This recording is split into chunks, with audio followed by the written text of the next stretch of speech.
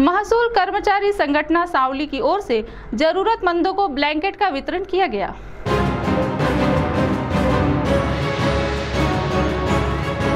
महसूल कर्मचारी संगठन सावली की ओर से सामाजिक सद्भावना के तहत दीपावली के पावन पर्व पर कर्मचारी संगठन की ओर से तहसील कार्यालय में तहसीलदार पन्ने पाटिल के हाथों जरूरतमंदों को ठंड से बचने के लिए ब्लैंकेट का वितरण किया गया। इस मौके पर महसूल कर्मचारी संगठन शाखा सावली के अध्यक्ष राजेश होटे सचिव राकेश परचाके के साथ महसूल कर्मचारी संगठन शाखा सावली के राजेंद्र शिंदे, दत्तात्रेय खाटिक ऋतिक राठौड़ आकाश गुनुले नागराज भवंडर गुरुदास गेडाम नीलम नगराडे के साथ अन्य महसूल कर्मचारी उपस्थित थे सावली तहसील के सावली सिंगापुर मोखाड़ा चिचोड़ी उमरी में ब्लैंकेट का वितरण किया गया कर्मचारी संगठन के इस कार्य का हर क्रम अभिनंदन किया जा रहा है सी के लिए हमारे विशेष प्रतिनिधि